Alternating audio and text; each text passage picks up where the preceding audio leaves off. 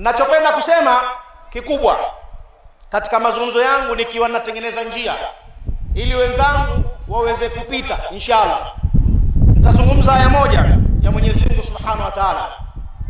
Allah anazungumza katika qurani katika sura 76 allah anasema hal ata ala linsani hinu min aldahri lam yakun shay'an madhkura inna khalaqna linsana min nutfatin amshajin nabtalihi faj'alnahu samian basira. Inna hadainahu sabila. Imma shakira wa imma kafura. Mwenyezi mungu anasema kwamba ilipita miaka mingi sana. Tunapozungumzia miaka dahari ni zaidi ya miaka laki na kitu miaka billions. Mwanadamu hakuwa kiumbe chenye kutajwa. Kwa sababu katika viumbe wa mwenyezi mungu subhanahu wa taala kiumbe wa mwisho kuja kuumbwa katika dunia hii ni mwanadamu.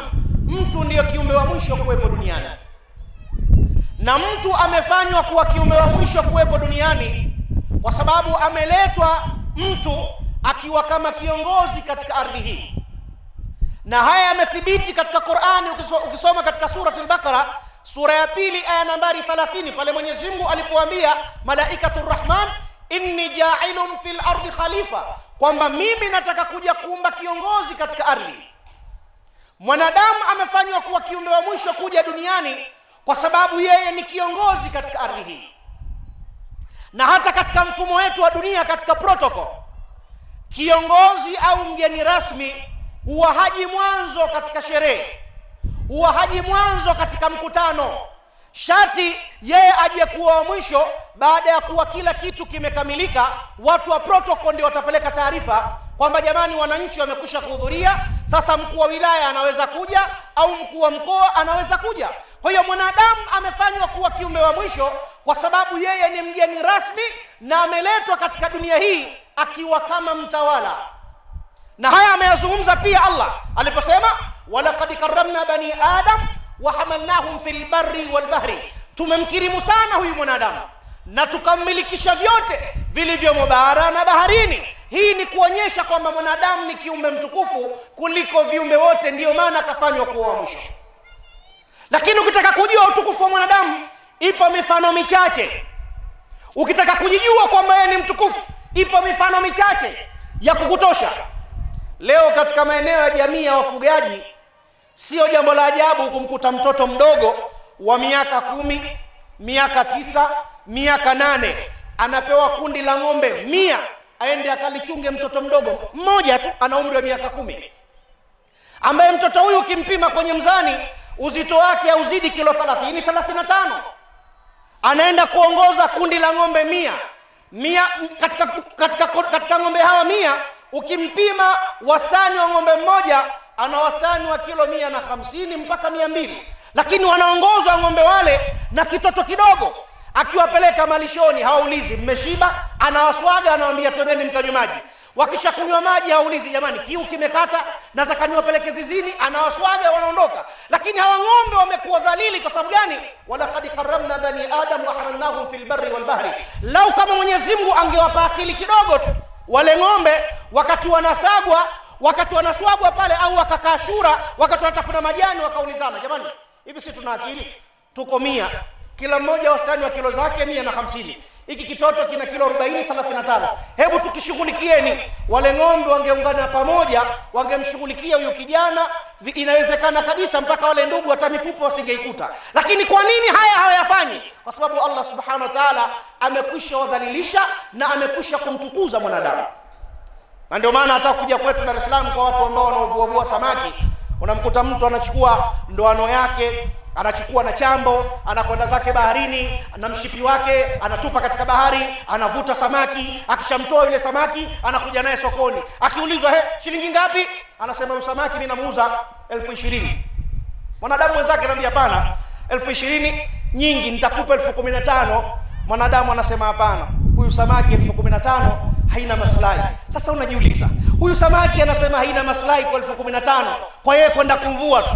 Huyu samaki akashughulika naye kitu gani wakati mama yake ana mimba alimpelekea ndimu. Wakati mama yake anakwenda leba kwenda kujifungua alimsaidia. Wakati mama yake ana njaa alimpelekea kapu la pumba. Au inakuwaje mpaka sasa hivi kwa elfu kumi na tano aseme hana maslahi? Lakini haya yote yanatokea kwa sababu mwanadamu allah subhanahu wa taala amemtukuza kuliko viumbe wote. Kwa hiyo ndiyo maana akamfanya kuwa kiumbe wa mwisho kuja duniani kwa sababu yeye ni mtukufu. Lakini aliyemtukufu zaidi aliyekuwa mtukufu zaidi na akawa wa mwisho zaidi ni mwanamke. Yaani baada ya viumbe wote kuumbwa baba yetu adam kiumbe wa mwisho kabisa kuumbwa ni hawa wanawake. Wanawake ndiyo watukufu zaidi. Kwa nini? Dunia ni wanawake na wanawake ndiyo dunia. Tukubali ndiyo hivyo hivyo tukatae ndiyo hivyo hivyo. Utalikuta jitu lingine nasema mimi na wanawake mimi mbali mbali. Mgonjwa wewe mwanamme aliyekuwa rijali hawezi kuwa na wanawake mbalimbali. Unakuwaje nao mbalimbali? Mungu mwenyewe kashasema katika quran zuyina linnasi hubu shahawati min nisa ametujalia sisi wanaume kuwapenda wanawake. Haya wewe ujifanye wewe na wanawake mbalimbali. Wewe na mungu nani dunia ni wanawake na wanawake ndiyo dunia. Kwa hiyo hawa wakiongoka jamii nzima ya kibinadamu itaongoka. Na hawa wanawake wakiharibika jamii nzima ya kibinadamu itaharibika. Tukubali huu ndio uhalisia wa mambo kwa sababu ili sisi tuwe sawa sawa kisaikolojia katika tarbia katika malezi asilimia zaidi ya tisini katika malezi wanacheza kina mama. Na ili mtoto kisaikolojia katika elimu ya saikolojia awe sawasawa katika iq yake uwezo wake wa kufikiri thinking capacity yake ifanye kazi sawasawa vitu viwili vinahitajika katika malezi. Khaufun wa tamaa kunahitajika kupatikane hofu ndani yake pamoja na matumaini. Hili limelizungumza na ninarudia. Vitu viwili vinahitajika katika tarbia katika malezi. Yawe malezi ya kiislamu au yawe malezi katika jamii ya kibinadamu. Ili watoto wapate kuwa sawasawa jamii ipate kwenda sawasawa vitu viwili katika malezi vinahitajika. Khaufun wa tamaa kutiwa hofu pamoja na matumaini. Na ndiyo maana mtoto aliyelelewa na mzazi mmoja ana posibiliti kubwa sana mtoto huyu kuweza kuharibika. Mtoto aliyelelewa na baba peke yake kuna posibiliti kubwa uwezekano mkubwa mtoto aliyelelewa na baba peke yake kuwa toto jinga toto fala toto zezeta. Sasa mwanamume anaweza akajiuliza yani mimi mwanamume nile mtoto awe fala? Ndiyo kwa nini nisikilize? Utanielewa tu na mtoto anaelelewa na mama peke yake. Kuna uwezekano mkubwa wa toto hili kuja kuwa toto nunda toto bishi toto lisilosikia kuwa sexologist yani kuwa muhuni kwa mwanamme kuwa muhuni mpenda wanawake na mwanamke mpenda wanaume. Yani hili linawezekana kwa asilimia kubwa. Si maana kwamba watu waliolelewa na mzazi mmoja ndio hili litatokea. Aa, yani kama wako mia wenye kuongoka watakuwa ishirini themanini wataharibika. Kwa hiyo kuna uwezekano mkubwa. Kwa nini nayazungumza hivi? Nisikilize. Katika akili ya kawaida katika tarbia mtoto ili awe sawasawa katika malezi anahitajika kupewa hofu na tamaa. Kupewa hofu hofu inatoka kwa baba. Sisi wanaume allah subhanahu wa taala katujalia ni watu wa kutia hofu watu wa kufosi na hili ninalo mimi unalo wewe. Hili wanaloita mfumo dume. Kulazimisha jambo unalolitaka wewe liwe. Yaani hili jambo liko automatic kimaumbile. Wanaume sisi ni watu wa kuforce, watu wa kulazimisha. Na mtoto akilelewa na baba peke yake ataharibika. Kwa nini? Leo kuna mifano nitakupa. Mtoto katika umri wa mwaka mmoja mpaka miaka kumi. Ni kipindi ambacho akili yake ina absorb kile inachokiona. Inafyonza na kuweka kichwani mtoto akiona mwaka mmoja mpaka miaka kumi ukimchukua na kumpeleka pahala popote duniani umtoe mbea mpeleke uingereza mweke miezi sita. Baada ya miezi sita atazungumza kiingereza frequently kama atazaliwa uingereza. Mtoe uingereza mpeleke arabuni akae miezi sita baada ya miezi sita atazungumza kiarabu tena kile kiarabu chenyewe kabisa kama kazaliwa arabuni. Kipindi cha mwaka mmoja mpaka miaka kumi. Ni kipindi ambacho mtoto anajifunza vitu vingi sana. Akili yake inafyonza. Kipindi hiki ndio mtoto anaongoka. Kipindi hiki ndio mtoto anaharibika. Kipindi hiki ndio unamtengeneza mtoto kuwa mcha mungu. Kipindi hiki ndio unamtengeneza mtoto kuwa msanii. Mimi na rafiki yangu kabla sijaingia katika mfano na rafiki yangu mmoja nilipotiana naye miaka mingi kama miaka sita alikuwa akapata kitoto hivi cha kike. Baada ya kupoteana akaja akaniona siku moja akanikaribisha nyumbani kwake. Akanipa na soda. Akaambia ali unamkumbuka aisha? Kaambia namkumbuka. Kwa sura alivyokuwa mdogo sijui sasa hivi yukoje? Akaja akamwita yule binti. Kaja pale amekuwa kuwa miaka sita. Ambia amekuwa mjanja sana uone hivi hivyo ehe ujanja wake nini akaambia subiri umalize soda. Tule hapa nitakuonyesha. Yaani mpaka mimi na mama yake wote tunashangaa siyu mtoto ana kipaji cha namna gani? Nikajua kahifadhi hadithi kahifadhi qurani basi tumemaliza pale namwona mtoto anakuja. Baba anaanza kupiga makofi mwenyewe. Nikasema hii kasida au nashdi baba linaanza kuimba lenyewe. Kata kata kiuno chako mwenyewe. Sasa ule mtoto ndo miuno namkatika mpaka anakwenda chini namna hii. Alafu yule baba ndo anamwambia si nilikwambia? Yani yeye ndo anamwimbisha baba ndo anamwimbisha mtoto kata kata. Kiuno chako mwenyewe. Wala usio yule mtoto miuno inamkatika pale si ya kawaida mpaka anaenda chini. Nikauliza shekhe huu ndo ujanja ulioniambia? Sema tena hapo bado hajakuzoea. Angekuzoea angekata miuno mpaka chini. Kaona subhana lmalikukudus sasa hapa wewe ndo unamwandaa mtoto wako kuwa mtu wa namna gani katika kipindi hiki? Ukitaka awe msanii atakuwa msanii. Kipindi hiki ukitaka haribiki ataharibika. Usadi mkongo anakuachia nafasi hii. Una, una mistari yako ile unayokuja kuitoa baadaye kwa watoto katika katika kuolea vibaya. Maana siku hizi hii bongo flava si bongo lala ni jambo la kawaida. Ukiwa na maneno tukijua kuunganisha neno la mwisho liwe la mwisho sawa sawa basi ushakuwa msa, ushakuwa msanii. Kwa mfano mimi hapa ni mweusi nakaa kwenye nyumba ya, na, ya nyasi na ninatoka kamasi na ninapanda farasi. Kisha likono unakuwa unalikamata hapa watu ndo wanaona ushakuwa msanii habari zimekwisha. Ndio wakati tuliokuwa nao. Huu sasa mwingine nikisema hapa anaweza akanifata baadaye ustadhi niandikie hiyo mistari. Sikuandikii.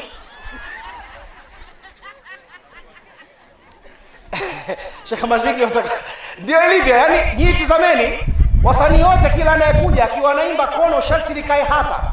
Akilikamata akapeleka hapa ka... sasa unauliza hapa anaposhika kuna nini?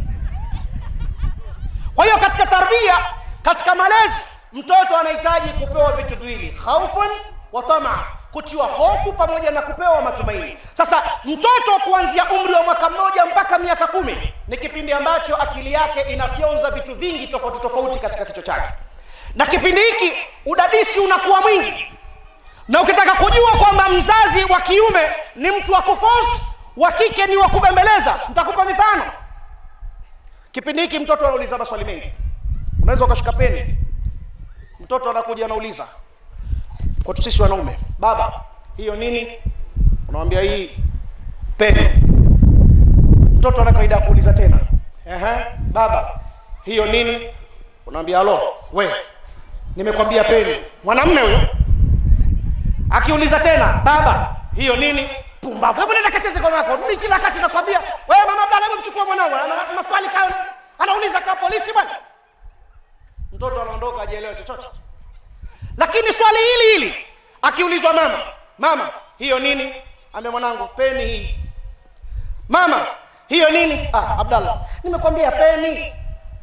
Mama hiyo nini? Ah mwanangu Abdalla. anaambia ah mwanangu Abdalla, njoo haya anamchukulia na karatasi anaambia haya andika eh andika pahali muhammad jina la babako eh na mimi hapo naandika chini haya kamata na karatasi hapo. Alichotaka mtoto kujua ile ni nini lakini mama amekwenda na extra miles amemuongezea kwamba hii ni peni lakini kazi yake inafanya kitu kadha wa kadha wa kadha wa kadha. Hawa ndio kina mama. Anapokosekana mmoja mtoto ataharibika. Na ndio maana kuna baadhi ya vitu vinatokea vingine yawezekana ukawa unamharibu mtoto mwenyewe basi ya kujua. Kuna vitu kisaikolojia mzazi upaswi kuvifanya mbele ya mtoto. Miongoni katika vitu hivyo kutukana. Mtoto mdogo anaweza akakaa hapa. Elimu ya saikolojia ya watoto ukamwita. Juma akakaa kimya kabisa na yuko hapa haumwi hana matatizo ya masikio. Unamwita hapa wazazi nyi mnajua mtoto yuko hapa na anaendelea kuchimba chimba. Juma akakaa kimya unamwita tena we juma we anajifunza kwamba ukimwita mtu asipoitika unaongeza sauti eh? anajifunza unamwita mara tatu we juma akitikia eh? Sasa mzazi kama ovyo unamuunganishia neno nyoko, anaona "Ah, kumbe ukimwita mtu asipoitikia unaongezea na nyoko, ndo unalikuta toto mtaani, ukimgusa mama yako kafanya. Unajiuliza, haya maneno huyu kajifunza wapi? Kumbe ni vitu ambavyo wewe mzazi umevifanya. Wala usisingizie huyu mtoto wangu bwana anacheza na watoto wabaya. Hakuna. Wewe mwenyewe jiangalie katika nyumba yako, unaishi vipi na katika mazingira gani na watoto wako, unaishi nao vipi? Kuna baadhi ya vitu katika elimu ya kawaida hupaswi kuvifanya mbele ya mtoto. Kutukana haifai. Kwa wanaume sisi, kulia mbele ya mtoto ambaye hajafika umri wa bale haifai. Yaani limekupata jambo la huzuni, unamwona mtoto wako hajafika bale ukalia, shekhe, umepoteza pointi tatu muhimu. Kwa sababu gani? hawa watoto wote tuliokuwa nao hawa watoto wetu wanahisi kwamba hakuna wanaume wenye nguvu kama baba zao. Akifanya jambo lolote, hata kwa mwenzake ambia wewe, takuitia baba yangu wewe, yaani vile unavyomkamata yeye na kumtandika, basi fikira yake huwa anahisi kwamba wewe baba unavyompiga yeye una uwezo wa kuipiga mea nzima. Ndo akili ya kitoto. Sasa na mzazi kama bwege, huna akili iko siku mtoto wako atakusababisha utachezea kichapo, utarudi nyumbani na manundu kabisa. Maana atakuja atakushtakia wewe, huwezi kupima kile ulichokuja kushtakiwa, unapanda juu. Unaweza kukutana na mtu kashiba vizuri, ukala nako ziza nguvu, unarudi nyumbani kimya kimya, mkeo anakuuliza vipi, huwezi kuhadithia. Lakini miongoni katika vitu vya makosa ni kulia mbele ya mtoto. Ukilia unamwathiri kisaikolojia Wanaishi kwamba baba ndio comforter, ndio helper katika upande wangu, ndio akunisaidia kupiga mikwara. Sasa akija akikuangalia baba naye analia na mie pia wanalia. Ah, kumbe baba wenyewe fala kaamie bwana, yaani mi wanalia naye analia. Sasa kumbembeleza mwenzake nani? Anaondoka, unamwathiri kisaikolojia. Kwa hiyo hata likikupata jambo la huzuni, tafuta chochoro, mwaga chozi, akija futa akikuuliza baba nini, mwambie macho yanauma, hebu nenda kwa mako niache kwanza. Unahakikisha kaondoka, ndo unaliangusha kilio tena, sio mbele yake. Wewe utakuwa fala, atakudharau. Lakini kwa watoto waliofika katika umri wa bale ambao wana maamuzi yao, kuna kitu ambacho unachokujenga pale ambapo utakuwa unalia mbele yake, kumtengenezea huzuni, kumtengenezea mfano wa kumlainisha moyo, mfano hapo. Lakini kwa mtoto unamwathiri katika hali ya kisaikolojia. Kwa hiyo katika tabia, katika malezi, ndugu zangu katika imani, ni kwamba tunahitaji tucheze nafasi mbili. Baba ana nafasi yake katika tarbia na mama ana nafasi yake katika tarbia. Tukikosea hapo, ndipo tutapata kizazi ambacho kitakuwa chenye kuharibika. Tutapata mateja wengi, tutapata mabinti wengi wenye kujiuza. Leo tuangalie jamani, katika baadhi ya maeneo mateja wamekuwa wengi. Mbaya zaidi, katika baadhi ya miji unakuta Waislamu ndio wengi katika mateja. Leo tembeleni katika baadhi ya maeneo, wengi katika mateja wanaopiga debe ni watoto wenye majina ya Kiislamu, wanatoka katika mifupa ya Kiislamu. Unajiuliza kwa nini? Ni wameathirika hawa katika matumizi ya madawa ya kulevya. Haya yametokea kwa nini? Kwa sababu watu wamekosa malezi. Leo jamani, ukitembea katika baadhi ya maeneo unashangaa, unakuta mabinti wa Kiislamu wanajiuza. Nenda kaangalia historia yao. Leo nani katika sisi anayependa kumwona binti yake awe ni chombo cha starehe wa kuingiliwa na kila mwanamume kwa nguvu zake? Nani katika sisi anayependa kuyaona hayo, kwamba binti yako umemzaa ukamlea ukajitahidi katika maadili, at end of the day unamkuta binti yako anakuja kujiuza kwa kila mwanamme na nguvu zake na ukubwa wake, akawa ni chombo cha starehe. Leo kuna mabinti katika mabinti wa Kiislamu, kwa siku moja mtu anatembea na wanaume mpaka kumi kwa kulipa ujira wa shilingi elfu tano mpaka shilingi elfu kumi katika pesa ya Kitanzania. Nani katika sisi anayependa haya? Nani anayependa kuwa na binti yake yupo katika mazingira haya? Nani katika sisi mwenye, kuya, uwezo wa kuyavumilia hayo? Sisi umma wa Kiislamu tutakuwa masulu siku ya kiama Leo kuna wazazi watoto wao wa kike wamesoma, baada ya kusoma wakapata kazi, baada ya kupata kazi hawakupata waume hawa, baada ya kupata kutokupata waume wakaenda kujipangia vyumba kivyao vyao au kwenda kujenga nyumba wakakaa peke yao. Wallahi wazee wa kiislamu katika hili mtakwenda kujibu siku ya Kiyama. mwanamke haruhusiwi kukaa peke yake hata kama ana pesa zake akae na maharimu yake. Awe na mtu wa kumsimamia. Kama ana mume baba kaa naye. Kama hana mume tafuta kaka akae naye. Miongoni katika maharimu wake wa kumsimamia. Mwanamke hawezi kukaa peke yake kwamba kapata pesa ya kukodisha chumba basi anakaa chumba kakodisha huko sijui majengo anakaa na yeye katika chumba peke yake awe na maamuzi ya kufanyia mwenyewe. Binti unapomwachia huru maana yake ni kwamba ushamtengenezea mazingira ya kufanya vile anavyotaka yeye. Atatafuta boyfriend atakuwa anaingia naye. Akimchoka yule atatafuta mwingine. Akimchoka yule atatafuta mwingine. Heshima ya kiislamu iko wapi? Wazee wa kiislamu katika hili mtakwenda motoni kaeni na mabinti zenu. Kaeni na watoto wenu wa kike muwachunge mpaka muhakikishe kwamba wametoka katika mikono yenu. Wamepata waume halali wa kuwaoa. Wapeni maamuzi waachieni maamuzi hayo kuangaliwa kwao kurudi kuwe kwa waume zao. Si hivi hivi? Huu ni uislamu. Hakuna dini iliyompa hishma mwanamke kuliko dini ya kiislamu. Hakuna. Na ndio maana kuna baadhi ya watu wanaotukanisha uislamu. Uislamu umeruhusu kuoa mke zaidi ya mmoja. Allah aliposema fankihu ma taba lakum min nisai mathla thalatha arbaa uwe ni wanawake mnawapenda wawili watatu mpaka wanne. Ruhusa hii imeruhusiwa katika uislamu. Lakini tunapozungumzia ruhusa sio amri. Wewe mwanamme unayekwenda kuoa wa kiislamu je vigezo na masharti vya kuongeza mke vimetimia? Mwingine wanaona mi naweza kuongeza mke kwa sababu naweza kumlisha. Kwani kwao mesi alikuwa anakula ah, anakufa njaa huyu? Hata kwao alikuwa anakula. Jipime huo uwezo wa kuongeza mke unao? Hakuna kulala inapatikana. Sio gari ikienda uyole tripu ya kwanza ya pili imeishia njiani haifanyi kazi gari mpaka wiki ya pili tena tena mpaka isukumwe. Abiria mpaka wapate tabu ambia gari imewaka. Ikiwaka dandia ukizubaa inazima tena. Wewe bado tu unataka kujitia ufundi kuongeza mke wa pili. Wewe umejiangalia? Kuna haki ya mke na mume katika uislamu zimezungumzwa. Kwanza uangalie uwezo huo unao.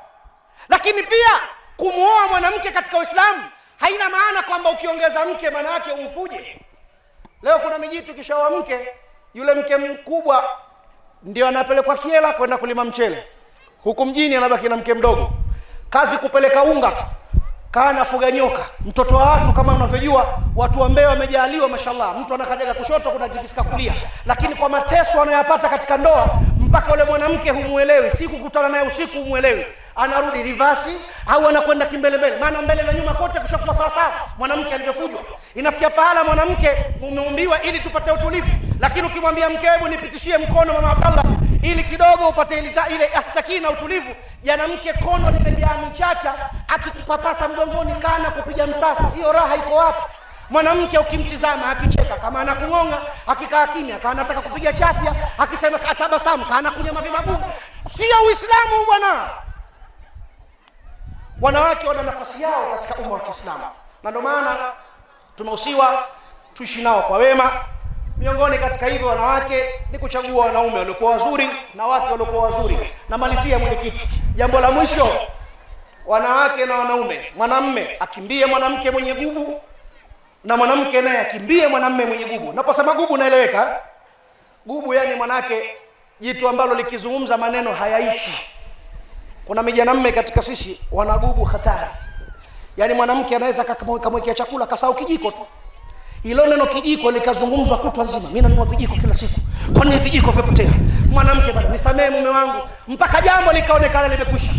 Saa nane za usiku kaamka kaenda zake msalani karudi anamwamsha mama abdallah we mama Abdalla, ehe mume wangu. Hivi ilikuwaje kwanza mpaka wewe